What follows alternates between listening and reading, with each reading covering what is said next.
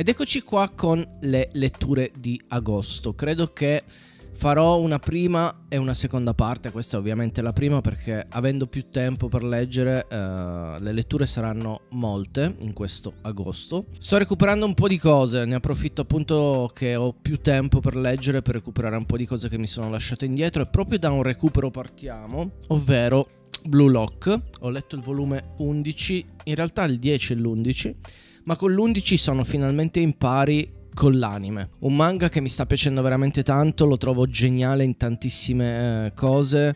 Uh, un modo diverso finalmente di uh, guardare il calcio, è uno Spokon atipico perché si è fuso completamente il concetto di Squid Game con appunto lo sport.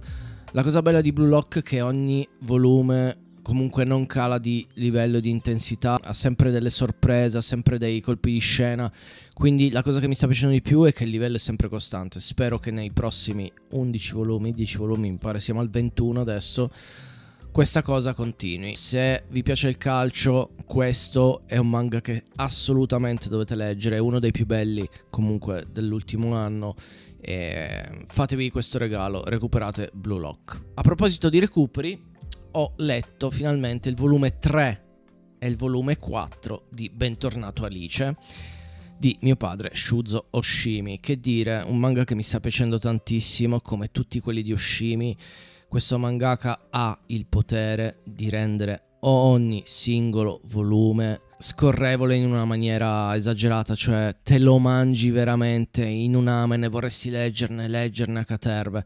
Io vorrei che i manga di Yoshimi non finissero mai, purtroppo a una certa finiscono anche loro. Lui ha questo dono di rendere le cose talmente veloci, fruibili, con una dinamica, un, montaggio anche delle tavole uh, perfetto, è tutto perfetto. Poi i dialoghi sono uh, sempre molto concisi. Non, vedete, non c'è mai un dialogo con tantissime parole. Eppure, eppure funziona tutto alla grande. Lui ha questo potere e ogni suo manga è veramente incredibile. E che dire di Bentornato Alice? Penso di averne già parlato in qualche video o unboxing o su, o su Instagram. Mi sta piacendo tantissimo come ogni manga di Ushimi parla di sessualità, di, dei conflitti che nascono dalla sfera sessuale. In questo caso abbiamo uh, due amici di infanzia che vanno a scuola insieme, fanno le medie insieme. Il nostro protagonista, Yo-chan, interessa una ragazza. E a questa ragazza però interessa Kei, quindi è il più classico dei triangoli amorosi. Peccato che a un certo punto Kei in terza media si trasferisce, quando tornerà alle superiori non sarà più Kei ma sarà uh, lei. quindi tornerà uh, donna. Uh, da lì inizierà un vortice di lussuria con uh, il suo migliore amico Yo-chan, la scoperta del desiderio sessuale, la scoperta del proprio corpo, la scoperta del, dei propri gusti. Se siete amanti del genere, bentornato Alice, come tutte le opere di Ushimi, assolutamente eh, lo dovete recuperare. E sempre di Ushimi ho recuperato un'opera un po' più vecchiotta, ovvero Viaggi astrali, che è in due volumi, Yutai Nova. Leggendo questo manga vi accorgerete, come dice uh, Ushimi stesso poi nell'analisi analisi finale, verranno poste le basi per le sue opere successive. Qui per la prima volta sentirete insetti di merda, per chi sa capirà benissimo. Anche qui ovviamente si parla di sesso, ma il tema principale è il primo amore, infatti è uno degli argomenti ricorrenti uh, di Ushimi, il primo amore e soprattutto il non riuscire a dimenticare il primo amore. In viaggi astrali viene usata la scusa appunto del viaggio astrale, quindi abbandonare il proprio corpo per viaggiare nell'etere e soddisfare le proprie voglie più assurde. Parte più oscura delle perversioni sessuali delle persone, no? Quindi è un tema che mm, non è così scontato perché non è facile trattarlo e lui lo fa sempre in maniera geniale secondo me. Faccio vedere qualche disegno. Ovviamente la prima cosa che fa un ragazzo quando scopre di poter viaggiare uh, al di fuori del suo corpo cos'è? Andare a vedere le donnine nude. E eh, vabbè, questo è uh, Oshimi, però è molto di più, fidatevi. Poi altro recupero ed è il manga che forse in assoluto mi sta piacendo di più uh, nell'ultimo diciamo anno. Ho recuperato il volume 6 è il volume 7 di Boys Abyss, lo sapete sono un grandissimo fan di questo manga e gli ultimi due volumi mi hanno veramente sconvolto, c'è un bellissimo colpo di scena nell'ultimo volume, nel volume 7, un doppio colpo di scena, uno se vogliamo un po' telefonato, per chi lo sta leggendo sicuramente capirà, uno inaspettato, questa volta mi hanno colpito perché effettivamente non ci avevo pensato, o comunque non mi ero così troppo soffermato ad unire i puntini per capire eh, appunto questo colpo di scena. Io questo manga lo consiglio assolutamente se vi piacciono le cose che vi creano inquietudine, se vi piacciono le cose sentimentali ma un po' all'euforia, un po' alla skins, un po' uh, non so alla Blue Valentine, quindi quelle cose un po' maledette, sentimentali ma maledette, sporche. Qui troverete tutto questo, tra l'altro i disegni a me ragazzi mi piacciono in una maniera assurda. Come sapete, come avevo detto più di una volta, sono un amante dei disegni un po' dove c'è tanto uso delle ombre. Vi assicuro che in questo manga l'uso delle ombre, della penombra soprattutto, è pazzesca. Vabbè, questo è un esempio. Che qua, ad esempio, questa è una delle mie tavole preferite una penombra bellissima, questa inquadratura attraverso un acquario perché quella è una coda di un pesce, anche la regia di questo manga, ecco per dire questa tavola. Brevemente la trama, il nostro protagonista Reiji uh, vive in un paesino sperduto in campagna, un giorno arriva una idol non ancora famosissima, ma comunque l'idol preferita del nostro protagonista. Ne nasce una relazione abbastanza torbida, improntata sì sulla sfera sessuale, ma soprattutto sul desiderio di suicidarsi insieme. E da lì poi ruotano attorno diversi personaggi, tutti disturbati, cioè veramente il tema principale è il disturbo, l'inquietudine di vivere relazioni non solo sentimentali ma anche parentali ehm, parecchio disturbate, quindi c'è tutto un tema riguardante il rapporto madre-figlio. È veramente un'opera a tutto tondo, cioè ci sono diversi temi e sono tutti temi parecchio forti. La parola giusta è quando finisco di leggere un volume di Boys Abyss mi sento un po' destabilizzato Uh, ho voglia di, di, stare un attimo sulle mie, pensare, riflettere, perché ti lascia quel qualcosino dentro, quindi stra, stra, stra consigliato. Altro recupero, questo l'avevo comprato per Stefania, perché pensavo che le potesse piacere, ovvero Shadow House. Avevo comprato i primi tre volumi, così, nel chilling più totale, senza pretese. È un po' lento, però molti mi hanno detto oh, devi avere pazienza perché comunque si prende il suo tempo per spiegare bene le cose, per uh, dipanare bene la sceneggiatura, il contesto. Il primo volume mi ha colpito, nel senso che la storia è particolare e ho detto ma sai che c'è? Sti cazzi, mi leggo anche il secondo volume. Il secondo volume mi è piaciuto, mi ha messo ancora più curiosità, allora ho preso eh, nell'ultimo acquisto che ho fatto, ho detto vabbè, sai che c'è, lo prendo tutto. E così ho fatto, l'ho acquistato tutto.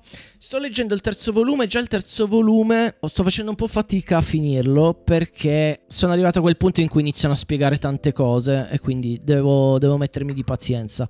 La storia uh, di cosa parla? Una famiglia di ombre senza viso imita lo stile di vita degli aristocratici. Come vedete, praticamente questi personaggi aristocratici, questa famiglia aristocratica è tutta così, cioè non hanno un viso, no? Perché sono fatti di fuliggine. Le bambole viventi al loro servizio hanno il compito di sopperire alla mancanza del volto dei loro padroni interpretandone le emozioni. Quindi questa ragazzina invece di cui vediamo il volto è una bambola. Non sappiamo come è stata creata, da chi è stata creata. Ovviamente in questa casa ce n'è diverse, anche maschi, e, e praticamente il loro compito è accudire, prendersi cura dei loro padroni fatti di fuligine e rappresentarne il volto. Quindi idealmente il volto poi de- della nostra ragazzina aristocratica dovrebbe essere quello della bambola, però ancora non so, non sappiamo il nesso. In questa strana villa che non riceve mai ospiti, voci squillanti danzano anche oggi in mezzo alla fuliggine. Trama che mi ha colpito perché mi ha incuriosito. Leggendo i primi due volumi un po' mi è venuta l'acquolina in bocca, quindi sicuramente lo continuo perché voglio sapere come finirà la storia. Non posso dire sicuramente che sia un'opera eccelsa, vi faccio vedere i disegni, non mi fanno impazzire, ma non mi dispiacciono. Poi sapete, a me dei disegni importa relativamente. Eh, è la storia che la fa da padrona, però anche l'occhio vuole la sua parte e ovviamente poi quando ti leggi una storia con dei disegni tipo la Boys Abyss che a me fanno impazzire, il livello di goduria è sicuramente più alto. Ancora non ho capito se mi piace davvero o se la mia è solo curiosità di sapere come va a finire, cioè voglio sapere il mistero che c'è dietro, quindi le bambole chi sono, perché sono fatti di fuligine, chi ha costruito le bambole, cos'è la casa, eccetera, eccetera. Quindi andrò avanti nella lettura e nei prossimi video vi aggiornerò se uh, mi sta piacendo, se mi coinvolge e ovviamente se è una lettura che vi consiglio.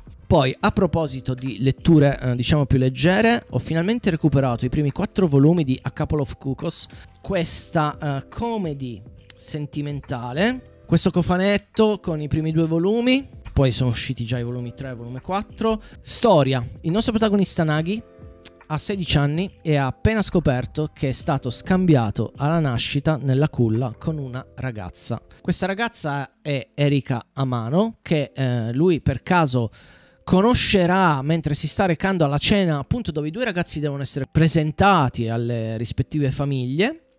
Lui per caso la incontrerà nel tragitto, ma ancora non sa che è lei eh, la ragazza con cui è stato scambiato. La trova eh, così appollaiata sulla ringhiera e mm, ovviamente penserà che si, sta, che si stia per suicidare, quindi lui la salverà e ovviamente salvandola eh, le toccherà una boccia questa è solo la prima di tante eh, situazioni ambigue che si verranno a creare in questa storia che devo dire nel primo volume mi ha un po' lasciato interdetto perché succedono delle cose veramente troppo al limite, cioè troppo troppo assurde per essere realiste, ma tutto sommato dopo averci fatto il callo uh, mi è iniziato a piacere, poi si viene a creare non un triangolo ma bensì un rettangolo amoroso perché il nostro protagonista Nagi, oltre alla ragazza con cui viene scambiato, appunto Erika, che tra l'altro quasi subito andranno a vivere insieme per una serie di eventi che non vi voglio spoilerare, in realtà è innamorato di uh, Segawa,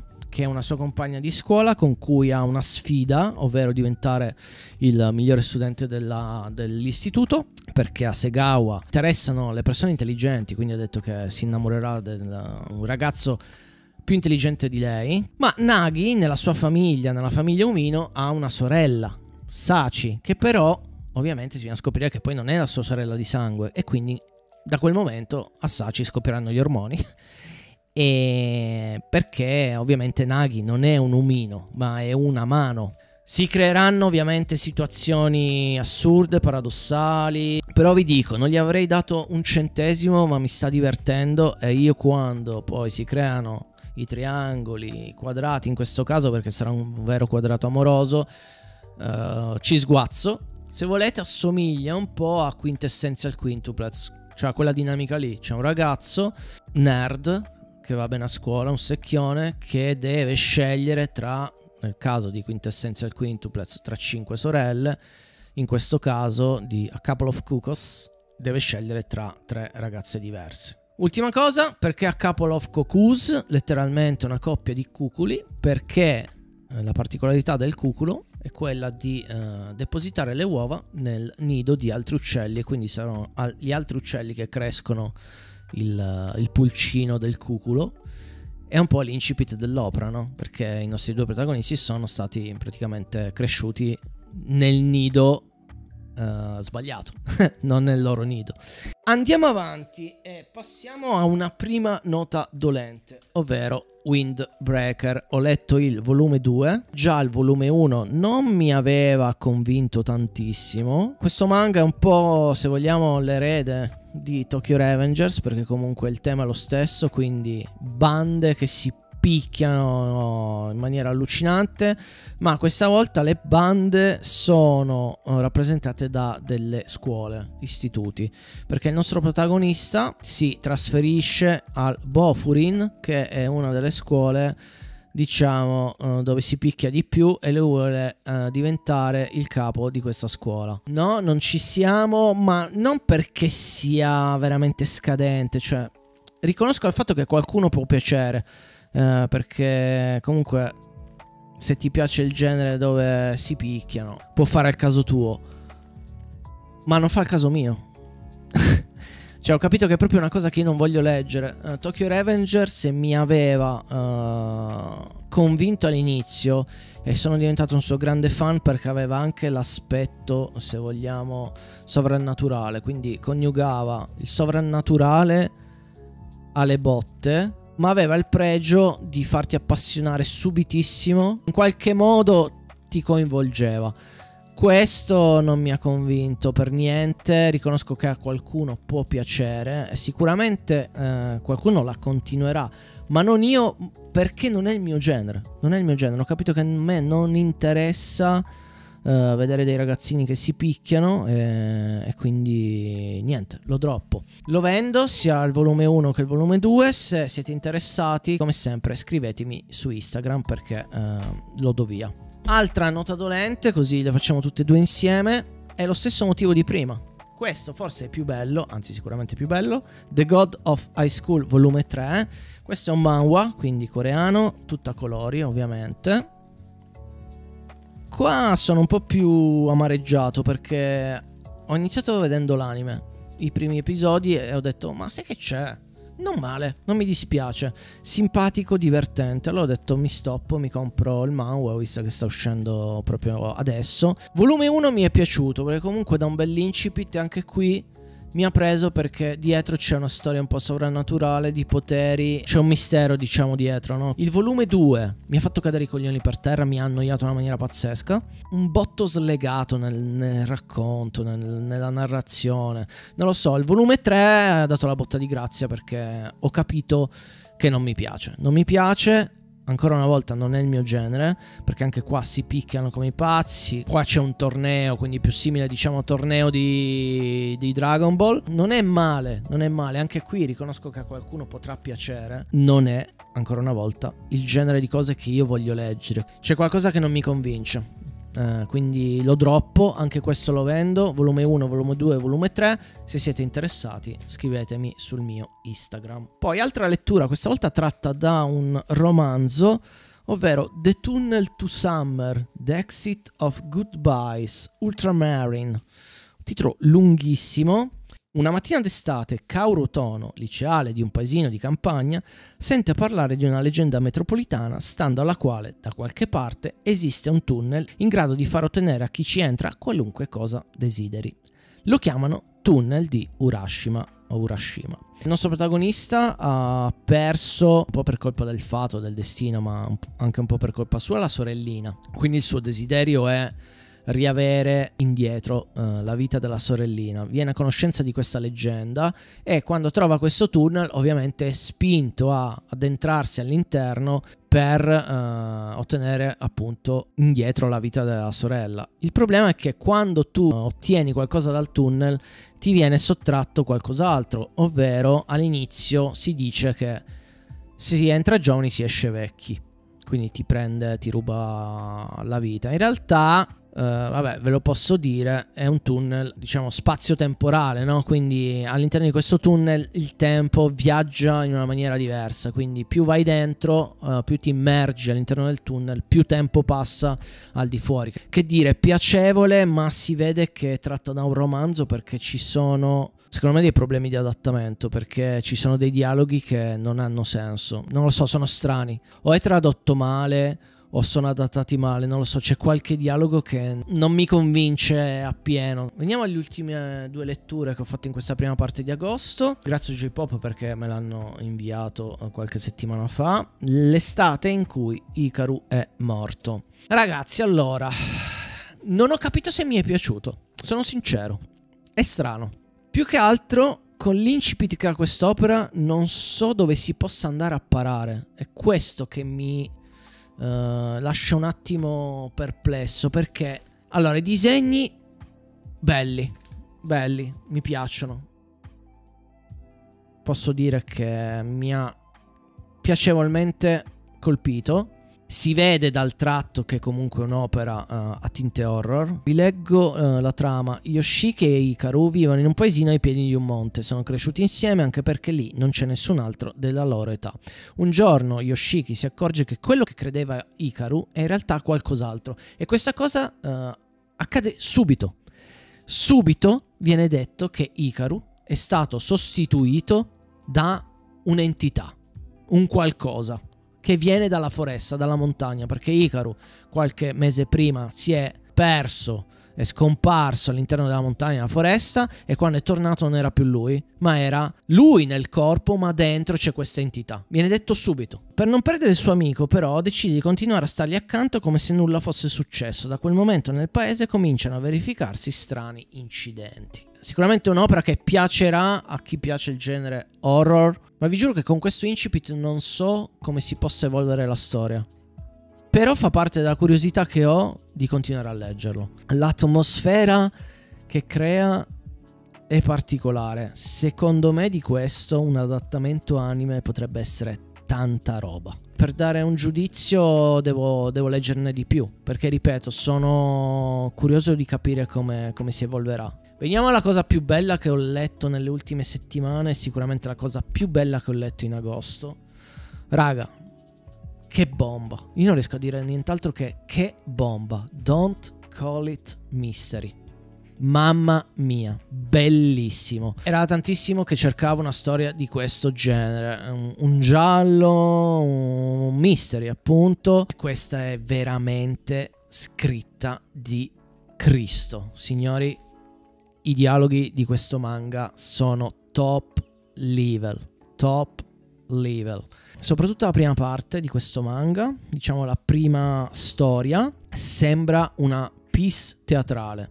È ambientato tutto in una sola location e vi giuro mi ha ricordato una piece teatrale per intensità dei dialoghi, costruzione dei dialoghi. Eh, veramente sono rimasto a bocca aperta, soddisfatto. Al netto che i disegni non mi piacciono, ma sono molto particolari. Riconoscendo il fatto che non mi piacciono, però mi sono abituato e a una certa li ho trovati, li ho trovati quasi funzionali a, all'opera perché mi sono concentrato totalmente sulla lettura dei dialoghi, mi sono immerso un botto nella storia e mi è piaciuto tantissimo. Sembra ormai una costante, ma ogni volta che faccio un video manga arriva a polvere a disturbare perché se li vuole mangiare tutti ovviamente. C'è anche Piuma che sta tentando di entrare. Lo studente universitario Totono sta tagliando le cipolle quando la polizia bussa alla sua porta. Un agente gli comunica che lì vicino c'è stato un omicidio e lo porta in commissariato, dove una dopo l'altra gli vengono sbattute in faccia prove che sembrano incastrarlo. Totono Kuno però ha una propensione a risolvere i cosiddetti misteri e con calma e gentilezza arriverà a capire anche questo. Ripeto, i dialoghi, i dialoghi, raga, è veramente scritto bene è una bomba. La cosa che poi mi ha colpito e mi è piaciuta è che nella seconda parte del, di questo primo volume, diciamo nel secondo caso, eh, non sono riuscito a farmi una vera e propria teoria su come possa andare a finire. E quindi quando rimango così appeso a, a un mistero, mi hai preso. Mi hai preso perché cerco sempre un qualcosa che mi possa stupire, no? Che non sia telefonato, eh, cerco il colpo di scena. Spero che, come tanti altri manga, non sia solo una serie di casi singoli che vengono risolti e non c'è una macro storia che fa da filo conduttore a tutta l'opera. Ma anche nel caso siano solo casi singoli, eh, ho trovato la scrittura talmente ben realizzata e strutturata che eh, sicuramente leggerò il volume 2 e poi vedremo che fare. Siamo arrivati alla fine, ovviamente fatemi sapere qua sotto il vostro parere su queste mie letture. Sicuramente arriverà un altro video verso fine mese o inizio uh, settembre, quindi rimanete sintonizzati perché ho, ho, un po' di letture da recuperare, tra cui Oshinoko, Berserk e altra roba. Spero di portarvi poi nelle prossime settimane anche un unboxing e che dire, noi ci vediamo al prossimo video e un saluto a tutti. Ciao!